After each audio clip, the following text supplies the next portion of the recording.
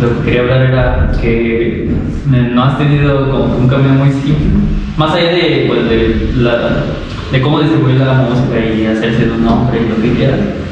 Eh, yo recuerdo que alguna vez me dijiste que tenías un quiste en el cerebro. Sí, sí, sí. Y pues Exacto. mil cosas más que Ah, bueno, y a mí me dicen la reina de los achaques porque, híjole, yo sí defectuosa. Pero, o sea, ¿qué, qué, qué es a lo que has- te has tenido que enfrentar y Pues, superar? Sí, pues cuando yo estaba chiquita eh, tenía problemas de, de asma. Después me recuperé. Después este, me, mis anginas este, ya no daban para más, me enfermaba todo el tiempo y ya como por quinto de primaria me operaron y ya este, pues descansé, ¿no? Y ya después cuando yo estaba en la secundaria me empezaron a dar dolores de cabeza muy muy fuertes y muy seguido. Entonces era un dolor que me impedía incluso tomar clase, que me tiraba. O sea, me acuerdo tanto de una vez que me dolió tanto, estábamos en una obra de teatro o algo así, estábamos viendo, y me dolió tanto la cabeza que me fui y me acosté en un, un salón así en el piso y no, no me pudieron parar de ahí porque de verdad me dolía muchísimo. Me le marcaron a mis papás, fueron por mí, me llevaron este, a, hacer, a hacer estudios con una neuróloga y demás. Y salió que tengo un quiste en el cerebro, entonces pues sí, ya tengo que tener también ciertos cuidados también, ¿no? Y me hicieron varios estudios, ver si crecía, si no crecía, si este era benigno, si era maligno, ¿no? Dijeron que era benigno, que estaba muy pequeño, pero sigo todavía en constante chequeo de que no crezca, ¿no? Y pues sí, la verdad es que sí me afectó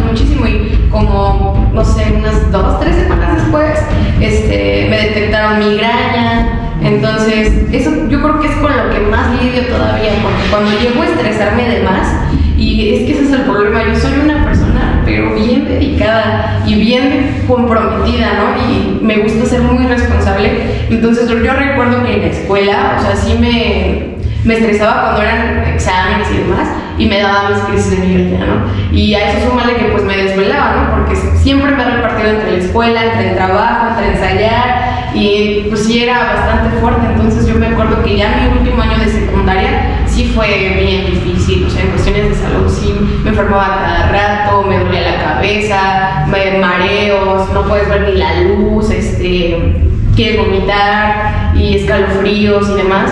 Y sí, este, es, es complicado. Pero ya ahorita igual, eh, pues sí, siento que he mejorado considerablemente, ya he estado más estable igual con el tratamiento que tengo y demás. Pues sí, considero que he estado bastante estable.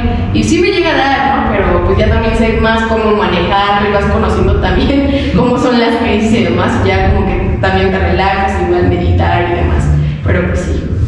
sí. Pero, eh, eh, pero pues qué, eh, qué admiración. Ah, Gracias. Porque, como lo dije desde el principio, eh, eh, eres una persona muy dedicada. Sí, y gracias. creo que, eh, aunque los caminos a veces sean difíciles, eh, de que se puede, Sí, se puede. Entonces, Es, como yo siempre lo he dicho, o sea, siempre con esfuerzo todo se puede.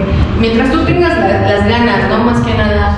Y la verdad es que sí he tenido problemas de salud igual medio fuertes, pero pues yo siento que nunca ha sido como un impedimento para mí para lograr hacer pues, lo que yo quiero, ¿no? Y demás. Y creo que también es otra cuestión como aprender a conocerte también, aprender a conocer tus límites, ¿no? También qué es lo que puedes o no puedes hacer. Y pues sí, yo creo que más que nada eso, igual este, trata también de que si me voy a desvelar muy seguido, no sé si es viernes, sábado, domingo, pues trato de descansar lo más que pueda, ¿no? Y reponer las horas perdidas también, a lo mejor el lunes y demás. Y sí, pero sí es medio pesado en ese aspecto, sin embargo yo siento que también es mucha la cuestión de cómo lo abordes tú también como persona. Pero sí, yo, yo considero que nunca ha sido como un impedimento para mí, al contrario. Sí, eh, yo creo que eh, el amor por hacer música, eh, creo que siempre así te ha mantenido. Sí, Eh, exacto. y pues qué chido porque eh, muchas, muchas veces, sé, eh, a alguien le gusta mucho una cosa, pero no, no encuentra las ganas, eh, no encuentra las motivaciones, no se siente apoyada. Pero creo que eres un ejemplo eh, de que se puede. Gracias.